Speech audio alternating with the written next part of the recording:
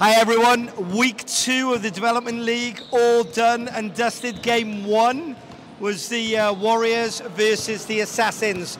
Final score 38-18 to the Warriors. Tudur, how was it? Oh, it was great. We played so much better than the first game. I really enjoyed all of it.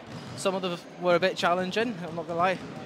Uh, not the best game I've ever had, but I'm happy with it. And you had a, an experienced coach, Coach Neil Ward, stepped up to coach yeah. your team. How was that for your team Oh, today? he was great. He's really supportive and he knows exactly what to do whenever.